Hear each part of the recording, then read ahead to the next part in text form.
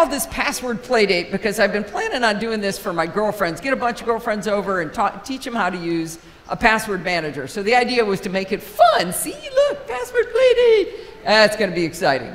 But when you hear the word password, what do you think? Ah, this is hard, uh, terrible. So we're going to try to get a little bit past that. That's my idea anyway.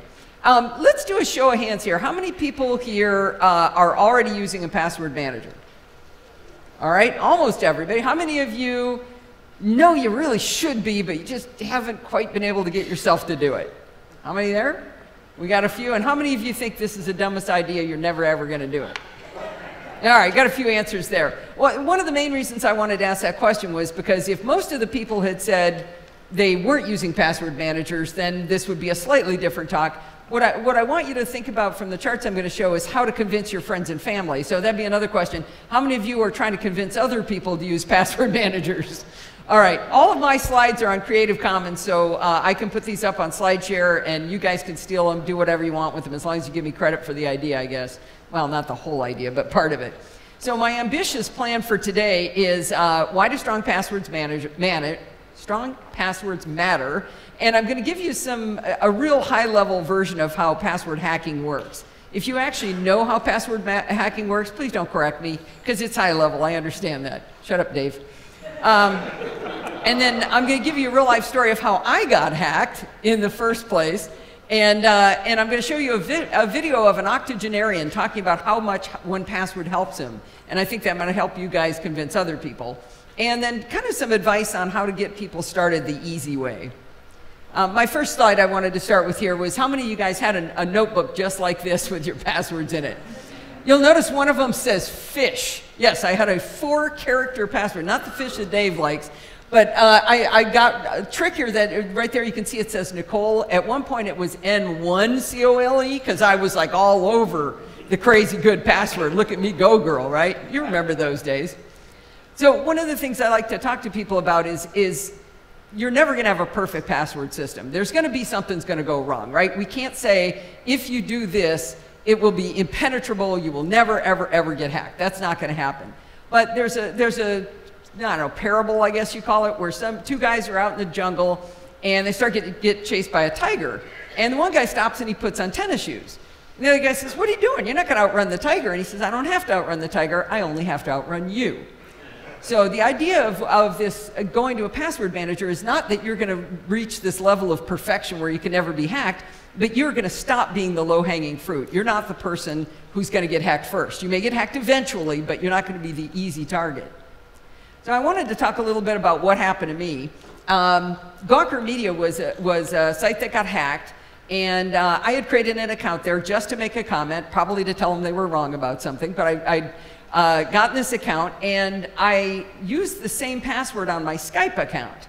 Now, at this time, I actually already had 1Password, and, or actually at the time I was using LastPass, and it was working great for me, and I was setting all my accounts up, but I looked at Skype and I said, I don't care about my Skype password. It doesn't matter because, I mean, only like 10 people knew my Skype name. What's the big deal? If somebody got into it, I'd just change my, my Skype name. I don't care about it. So I didn't change my password.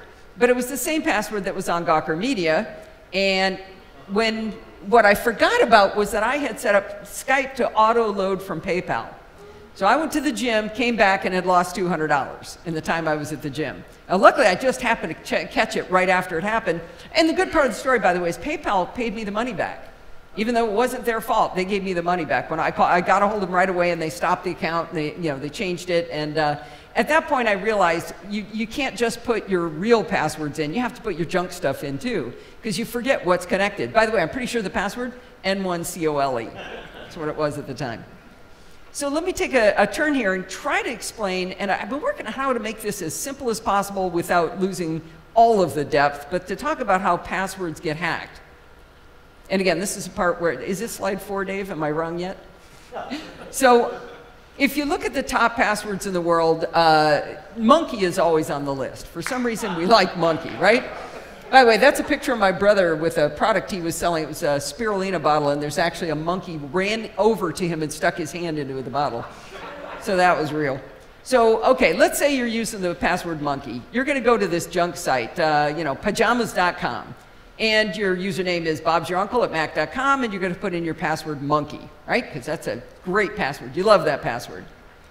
The way encryption works is you start with the password monkey. We're going to shove it through this encryption algorithm that is known, and out of the bottom of that is going to come this encrypted version of the password. So I've just kind of made some jumbly letters here. That is not a real transcription of it. The most important thing to remember about the way encryption works is that it's only one way. You can't take this password and shove it back through any algorithm we have and have it figure out that it's monkey. So if you can't, and if the companies that own your, have your passwords encrypt it properly, then how would they ever be able to get to this answer? By the way, I'm not going to talk about password salting. If anybody wants to get into that, that's a whole nother Oprah. We're just talking about one pass through uh, encryption. So now, the hackers go in and they, they hack somebody, they hack Gawker Media, and they get this pile of encrypted passwords. They don't have the, the unencrypted passwords. So you can see here, the one I had on my, uh, on my other chart was monkey turned into this thing that ends with comma 89. So they got this big pile of encrypted passwords, and one of them is monkey, but they don't know that that's monkey. They have no way of knowing that, except they build these things called rainbow tables or dictionary files, and they, what they do is they take all of the, the words that we commonly use for passwords they put them all into a dictionary and then they run them all through the same encryption algorithm. So this encryption algorithm is known. They know how to make it go this way. So they take all of the words and they take all of the combinations of the words of the times where we say, oh, I'm going to take the I and turn it into a one, or I'm going to take this O and turn it into a zero. They know about that. So they have these dictionary files, those huge files, and they're commonly available on the internet, and you shove them through the encryption algorithm, and what comes out the other side is the encrypted versions of those. So now that they have this encrypted dictionary, they can now look backwards and say, oh, wait a minute, that thing that comes back is comma 89, that's the word monkey. So now they know that this thing with comma 89 ends in monkey. They can now start using Bob's your uncle, or they can start using that. Sorry, I jumped ahead of the slide there. They can start using Bob's your uncle at Mac.com and shove it into all of these sites and see if it works. So at this point, they basically own all of your money, even though it was your, your password that you had over on Gawker Media that started it. Did that make sense?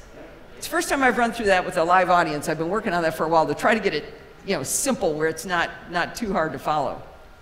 So now that you understand why they're important, and by the way, if it was a long, complex password, it wouldn't be in that dictionary table. That's an important point, right? So if, it's, if you've got a 15 character password with upper and lower case and numbers and punctuation and a goat in the middle of it, you're not going to uh, get hacked because it's not going to be in that dictionary table. But the problem is you can't remember those passwords. You can't remember a lot of them and you can't remember the complicated ones either. So let's talk a little bit about LastPass and 1Password. So these are the, the front runners. There are others. I haven't studied either of them. I have used both of these. I uh, really like them both. I have no complaints with either one. I had a weird problem that LastPass was never able to fix where it wouldn't log me out after a little while. It's supposed to log you out like after 15 minutes, and it just wouldn't. And so they, we, uh, they must have worked with me for three or four months trying to fix it, and they couldn't fix it. So I said, I'm sorry, I have to go. So I went over to 1Password. But I did get great support. They have a great service. So um, let me just pop these in. They weren't really supposed to be animated, but um, the, the big thing to look at, the, the, difference between the two, in my opinion, and, and I asked for opinions on this online before I put this together. Uh, LastPass is definitely less expensive, and I'll talk about the exact pricing. It's less expensive. Uh, 1Password I find to be more user-friendly, but LastPass has made a lot of advances since I left the, uh, I left the fold with them. I used to uh, think it looked real janky, looked kind of open sourcey, you know, if you know what I mean. But now they've come a long ways. They've got pretty beautiful icons and pretty buttons, and everything looks a lot better. And they've got an iPhone app and uh, iPad apps. So that isn't as much of a difference between the two. Uh, LastPass is cross-platform with a capital C and a capital P. It really is cross-platform. From the people I've talked to who've tried to use 1Password on Android and Windows, yeah, okay, it's cross-platform, but it's kind of janky. So if somebody is truly a cross-platform user, you might want to push them towards LastPass. LastPass's encryption scheme is known. It has been studied. Steve Gibson was given the, given the, uh, um, the source code, I don't mean the encryptions, the whole scheme they use to protect your data is known. He was able to look at the source code and vet it, so we know what's going on inside it. LastPass is their own algorithm, what they've done, and so nobody knows what that is, but they haven't had any problems with it. Um, LastPass has got uh, team and enterprise uh, plans, and 1Password has family plans and team plans. So if you've got a group of people you want to take care of, they both have good offerings in that. Um, you might hear people say that, well, LastPass got hacked. They did get hacked. And guess what? Nobody lost their data. Nobody lost any data. So it's, it's the kind of thing where they're a, a target, and you would expect them to be a target because this is the crown jewels, right? This is everything. If we, they could get into that, that'd be awesome. And they were able to get to the databases, but they were not able to crack into anybody's passwords. So in a way, I think that was, you know, that's almost even better news, right? Is you know, even if they get hacked, it can't get, uh, they can't get into it, or haven't yet. it's always going to be the same. Um, one, one thing that's a, a difference for me is uh, LastPass requires a separate authentication app if you want to do two-factor authentication. LastPass has it built in. And from my perspective, when I looked at that, I thought, okay, well, that's better. 1Password's better than LastPass in that respect. But somebody I mentioned that to online said, well, it also means more of the eggs are in the same basket. Maybe it makes sense to have a separate authenticator app. So make your own, your own decision on that. Oh, does anybody want to argue with me about that? Because I was, I was, uh, whoops. I was curious if anybody had opinions that, that differed on that of. LastPass does use like Google Authenticator. LastPass does use Google Authenticator. Own, you can use their own, or you can so you can use theirs, or you can use the other ones. Yeah. So I think you could probably use a different one with 1Password as well, right? You can. Yeah. So yeah, they do have an offering, but it is a standalone separate offering. Yeah. What do you mean by native two-factor?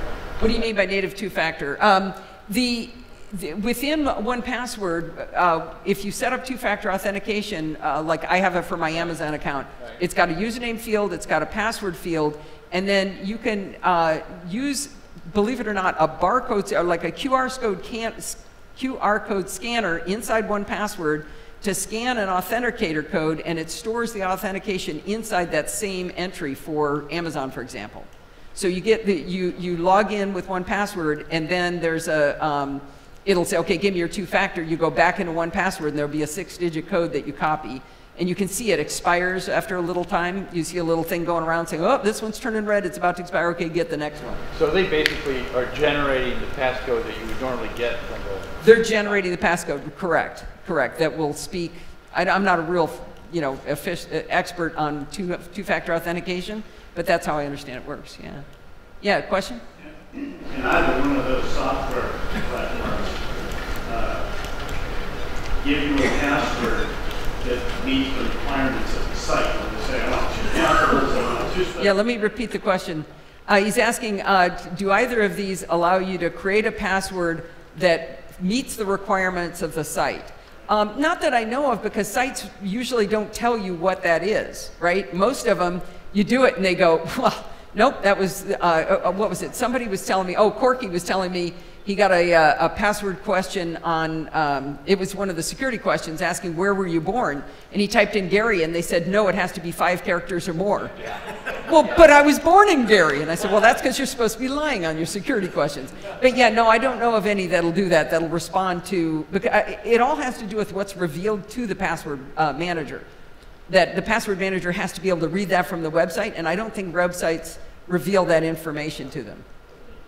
Any other questions on that? Does, does last pass have cloud solutions like 1Password does, where you can store on Dropbox? Does LastPass have cloud uh, support? Uh, LastPass only allows you to store it on LastPass's servers, and 1Password is in a lot of heat now. They're pushing everybody towards a subscription model, which is only on their servers. So if you have the standalone version that you're storing in Dropbox now, if you were to go into it today, it's very, very difficult to get that version to where you can store it anywhere you want. Yes. Uh, there's an article about that site. You, according to what I read on AgileBit's site, it said you have to email us and ask us for, for the link to get to, to go get the download. So that's harder than yes, it's an offering. I mean, it feels like they're really skidding out the door on that. They're really pushing you to use their cloud service, which is going to be a, uh, so it'll be a, a subscription Do you service. have plans for local storage in the next version for what that's worth? We do have plans? They do. They do? For local storage? Storage in the next version is not complete. Okay, uh, Mr. Chaffin says they do have plans for local storage in the next version, but do- that doesn't necessarily mean it would be a standalone license. It might be a team uh, subscription license, but has local storage.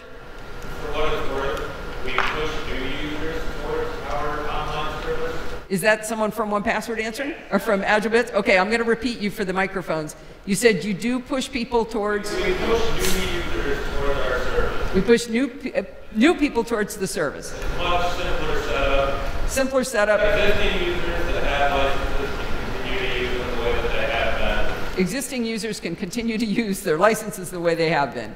Yeah, I mean, anybody who's gone through the Dropbox, dan- Dropbox dance trying to reset it up with a new computer and do sharing, I, I would agree that that's probably easier. I haven't converted yet, but I'm feeling tempted. So, love 1Password, by the way. have any questions, feel free to hit me up in your comments. All right, great. Okay, 1Password guy is uh, waving. Uh, what's your what's your name, sir? Uh, Dan Peterson, the lead designer. Dan Peterson, lead designer. Ooh. so anybody who is watching this later and didn't come to Macstock, that's the kind of person you get to chat with when you're here. I have a feeling you're going to be busy the rest of the day. All right, big, big fan. All right, so uh, you're the one who should tell me if I'm lying. Now I'm really nervous. I gotta, I gotta be right. Is this right? Uh, so it's $2.99 per month for all of your devices, and when I say all your devices, I mean, I mean it's it's your Macs, your PCs, your your I, I, well, your, I'm sorry, your Macs and your iPhones and and you know all your devices, and you can do $4.99 a month for a family of four, a family of five, sorry. And I don't use that myself, but I've watched Don McAllister's Fine Screencast Online videos where he showed how if you're the family owner, you can actually manage the other people's accounts. So if you have less technically savvy people or you have children that you want to be able to manage their account, they come to you and they go, oh, I forgot my one password. You can actually reset it for them. So it's, it's kind of a cool setup. I think that's a, a, really, a really slick idea. That kind of makes me want to do it, except Steve's technically savvy, so he'd probably be mad if I keep resetting his password for him. Um, 1Password is available at agilebits.com. And LastPass has got an interesting business model. They have one device category is free. So the first time you set up LastPass, if you set it up on an iPad, then it's available to all of your tablets, but you can't use it on your phone or your desktop. If you start on your desktop, you get it for free on all of your desktops, but you can't use it on your phone or your tablet. So it's kind of a neat way that you can really dig in, get started. Let's say you do it all on your Mac and you get it all working, and then you're going, man, I really want that available on my phone. Okay, I'm going to start paying them. And the price is $12 a year, so it, is, it isn't much money. It's a really good deal. So if you're super price conscious, I, I think LastPass is a good choice too. Sorry. Uh, this is weird having somebody here. Makes it a challenge. So uh, that's available at lastpass.com. All right. You're still thinking, it's too hard. I don't want to. This sounds hard. It's going to be annoying. Well, it is hard. It is hard to set it up and get started, but I'll show you some easy ways to do it. But the important thing to remember is that when you get to the other side, it's nirvana over there. Because you, I mean, I am not making this up. I, I, you might think that podfeet.com, my website, is important to me. I do not know the password to podfeet.com. Couldn't tell you what it is. No idea. I don't know the password to log into my web services to my web hosting company. I don't know. Because if I knew it, I would, it would be stupid and it would be easy to crack. So me being in charge of it is a bad idea. So I don't know what my most important passwords are. I actually know what some of the sillier ones are, which is weird. But uh, all right, let's. Uh, I want to show you a little video here. See if hopefully this will work. This is embedded. I'm not counting on the web for this presentation. Steve's father is 80 years old and he converted over to 1Password. And this is a testimonial he did on my show to explain how awesome it is for him. Well, please tell me there's audio coming out of this Mac. There is. Okay, let's hope so. And I don't know, do I click here or do I click to make it go? Ken, uh, welcome to the podcast. Yes. Well, thank you. I appreciate your uh, honoring me. I wanted you to talk a little bit about what your life was like before having 1Password, uh, a password manager to take care of your passwords, and then after that, we'll kind of talk about how it changed after you got one password. Oh, it was terrible before I got it, but it's uh, much improved, yes, because of 1Password, and there's several, several reasons. So, what was difficult for you before? Well, there's two or three things I should point out. I uh, had uh, neck surgery about two years ago, and as a result of the fusion in my neck, it resulted in neuropathy in all my fingers of both hands. And so I only have about 50% feeling in fingers of both hands. So when I type uh, now, it's very slow and it's hunt and peck. When you have complicated passwords, which we're supposed to have, uh, it just makes it all more difficult to uh, put in passwords all the time. Did you do you have a, a ton of passwords you use every day? No, I, I have maybe 30 uh, total passwords, which is low, I'm sure, compared to most techies. But uh, there are three that I do use uh, frequently, and I use them a lot more because of 1Password. Those three are my two bank passwords, the two separate banks, and mutual fund password for all my financial transactions. And those are very critical, and I never used to check those uh, regularly every day. But now I do because it's so quick and so easy to skip from one to the other once you're into 1Password. Instead of putting separate passwords in, I used to check them once every week or two. Now I check them every day. So I know you've been uh, really good about understanding security and how important it is to have long, complex passwords. So you were already good at that, except it was hard to put in because, uh, as I recall, you had it on a piece of paper and you had to read it and type these things in, correct? Yeah, I had to go get it from my hiding place and then look at the password, look at because I could never remember these complicated passwords, 30 of them. So uh, I have to do that every time, and now I don't. So that's a big asset right there. So what was it like being converted over? How did that? Uh, how did you get used to it? The initial setup was what was difficult uh, Okay. for Steve because he did it, and uh, with uh, it's rather intricate in some respects because I wasn't used to it. So I basically just watched Steve set up 1Password without doing it myself. I gave him the information, but Steve did it, and so for anyone new at it, that's the only hard part. Do you right click to enter the passwords? Is that what you do? You don't have to do that anymore because the password and passwords and the uh, ID code's already in there. So basically, it's a two-click job now. Wow, that's fantastic. Yeah. So uh, I don't want to put complete words in your mouth, but I'm going to. Would you say that you feel like you're able to be more secure now because uh, you've got those good passwords and you don't have to remember them? Well, yes, yes. because when you have a lot of passwords floating around, um, you, you have to keep track of them somewhere and you have to look at them frequently. Well, this has been great. That was pretty much all I wanted to uh, ask you about, and I appreciate you coming on and uh, doing a little testimonial for everybody to hear what it's like to use a password manager. Yes, well, thank you for letting me be the star of the show for I love Steve's dad. He is my hero. So I, I really think that illustrates the happiness on the other side. That's what I, I wanted to get across to people. And also, if people are trying to take care of elderly relatives, like Granny out in the parking lot there, and, and uh, or friends, and, and maybe they can look at a video like this and say, well, wait a minute, he's like me. You know, he's got problems with his fingers, he's going to complain about his health and stuff, and this is going to be something I can do.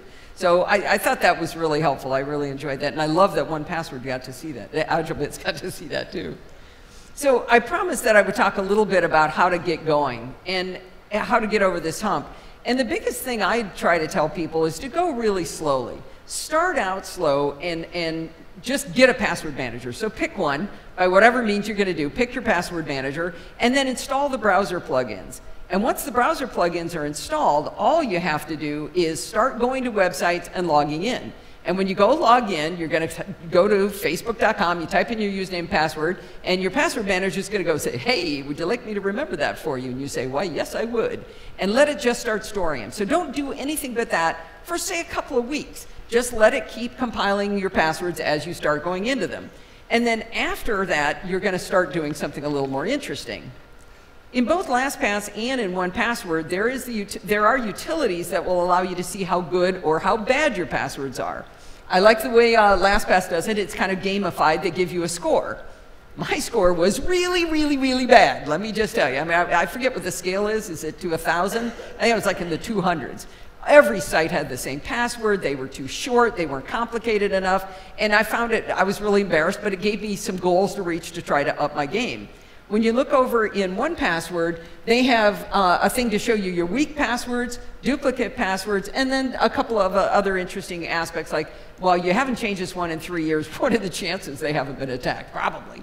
But they also do have a feature called Watchtower, and I really like that one because that one will light up and tell you, hey, you know these sites you go to, they had a hack. You probably want to change your password. And that's really handy. But as you're going through these, you're gonna you're gonna want to start looking at the ones that that are these weak passwords and start thinking about how you're going to improve them. But one of the one of the problems is it's so easy to get overwhelmed with this problem. So what I want people to do is just start doing a couple a day. Don't sit down and say, I'm going to change all of my passwords today. It's like saying, I'm going to wash my car, I'm going to wax my car, I'm going to tire black, I'm going to vacuum, I'm going to do the windows. You're never, ever, ever going to sit down and do that again. That's never going to happen if you try to do it all at once. So instead, go in and just do a couple a day. Just fix some of them. Start fixing some of them and set a schedule, say, if you can. Get a couple done a day. And uh, my buddy Bart Busschots always says, he says, protect the crown jewels first. What is the most important thing to you? Let's say it's your money. Go over to bankofamerica.com and get a great big giant long password that you're never going to have to know and get that changed and put it into your password manager. But probably something more important, believe it or not, than your money is your email password. Because your email password is basically the ticket to everything. Because if somebody hacks your email password, they can get their, your password reset on all these other sites. So they know my email address is allison at podfeet.com. If they get into that account, they can go to bankofamerica.com and say, or, and say, hey, reset this password for me, and it's going to get set, that password reset will get set to my email, which they're already in. So believe it or not, put, put your email as the, the number one thing that you protect. But then you want to think about stuff like your photos are really important to you, whether, I don't know if anybody still uses Flickr, but Flickr's out there, you know, wherever you're keeping things you care about, that's what you really want to protect first then work your way down to the other ones. And once you get the rhythm of it, once you get the really important ones done, you're really going to feel better about it and, and be able to keep moving and get them all done. So I wanted to show you um, a site that might help you with this. One of the things you have to do is pick a single, long, giant password with, like I said, with numbers, letters, and punctuation and a goat in it. You've really got to have one long one for your LastPass or your 1Password, that one that you're ever going to use again, you need to make sure that one's good and long. So there was a, an XKCD cartoon that talked about uh, how to make a good password. And I think it was horse battery staple. I forget what the fourth word was. But, but Bart Busschots took that idea from XKCD and did the math to create a website where you can cr create long, scary passwords. And at the risk of terrifying myself with the internet gods, we are actually going to look at this site. Let me go over here for a second. I preloaded it in case everything went horribly wrong. So this is not a site where Bart is ever going to know your passwords. That isn't going to happen. It is impossible because you're never going to tell him any information. You're only going to get information from this site. So the idea is that he's got some presets up at the top uh, that you can choose from, from, and you can change the parameters of how this, the passwords get, get created. But let's just take with whatever the defaults are. Down at the bottom here, after you choose a preset, you tap this button that says generate three passwords. And apparently Chuck didn't know you don't need a third-party app to zoom in because it's already built into OS 10. It's under accessibility, by the way. I'm just saying. Come on, it's been like a half an hour since I made fun of Chuck. You got to give me that one so you, you, can see here that this is a big, long, scary password, but if you look at it, it says give Oslo bin. Now, the, the trick of this is these are easy to type words, they're short, they're memorable, and yet they're not something a human would ever put together. Nobody would put those three words together. Chief agreed about, death, battle, gas. Those are all really easy to remember. And you can see in between each word, he's got a separator character, He's got digits on either end, and he's got special characters on either end. So you look at that and you say, you know, none of those just really, they just didn't come to me. That didn't make me, none of those made me think I could remember that forever. So you simply hit generate three passwords again, and it's going to give you three new ones. With any luck. There you go. So it just ran again. And you keep doing this until you find one that looks like, hey, that's one I could remember. That one made me laugh. That's, that's the way I, I choose them. Now, Bart might be a little bit crazy here on how many characters he thinks we're actually going to type. So you've got other options. Like sometimes you were asking about how many characters the, the website would allow you to, to, uh, to use. You can do Web 16 or Web 32. If I hit Web 16, for example, all the presets have changed. I'm going to generate three passwords again. And now they're a lot shorter. And maybe that's something you'd be better able to, to, uh, to put in. I think this one doesn't look like it has numbers. So it's got symbols, it's got uppercase, lowercase, and this is still a fairly high uh, secure password. Down here, you see where it says entropy? It's got green boxes around it that says that's enough. That's enough chaos in, that, uh, in those passwords that that's not going to be guessable within any uh, length of time. If you want to really have fun with this, you can go in and you can change these parameters. So he's got how many words do you want? Uh, like if we start with the default, you can see he's got three words, minimum length four, maximum length eight. You're going to be typing for the rest of your life if you choose his default. So I usually dumb it down a little bit from that as long as I'm still getting green down at the bottom. And he's got things like, do you want to transform word case or maybe you'd like alternating word case? I'm not going to go through every one of these in the interest of time, but it gives you a lot of different options of how you want to make, create this password. So when you're done, you're going to have a great password to put into your 1Password or your LastPass vault. And this is the only one you have to have to have to remember. You might want to use this to generate your Apple ID, because how many times do you still have to type your Apple ID? All the freaking time, right? So you might want to make a memorable but incredibly secure password for your Apple ID, which of course is often your email password as well. Uh, you might want to use XK, uh, xkpasswd.net. Any questions on this? This is a cool site. I keep this up all the time. Yeah. I'm just curious, because I'm reading articles, uh, or also using 1Password, in three words as opposed to, I guess you call it long line gibberish.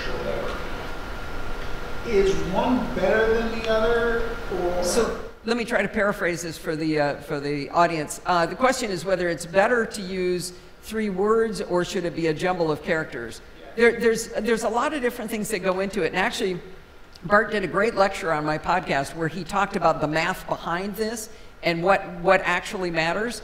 And uh, what he was able to explain to me was that the, the, one of the most important things is long. And the other thing that matters is that there be different types of characters. So think about if you had a password that was only one character. So it's going to be uh, lowercase alpha letters, right? So it can be A through Z. That's all it can be. That's only 26 different options. If you make it capital and lowercase, now it's 52 options. Now if you throw numbers in, 0 through 10, now you've added 10 more. And as you keep adding different types of characters, it gets harder. So if you add in letters, upper and lowercase letters, numbers, special characters, any special character, you've all of a sudden made it hard. But if it's too short, a computer can generate and go through and solve it. So you want it long, with one of everything. So you don't have to use, you know, seven symbols, three letters, and four numbers. There's no secret formula there. You just have to use all of the options. What, I, what I'm wondering though is, uh, when, I, when I first saw the thing of use three words with hyphens, uh-huh. Is there an advantage to that? To using, oh yes, is there an advantage using three words? Yes, because you can remember it. These are passwords you're going to have to remember. Yeah, the pass. Yeah, that's rough. It, Frank Petrie. Okay. Okay, you got that one. So yeah, it has this has to do with any passwords you actually do have to remember. And you do have to remember your 1Password or your LastPass. That one you have to remember, and Apple makes you type your Apple ID password all the time. So these are the, the ones you're going to have to type.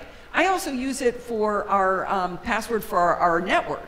I've got a long, complex password, but it's got three words, you know, six special characters and four numbers in it. So you can look at it, you can read it out loud to somebody, not X, lowercase j, uppercase I, 7, Q, you know.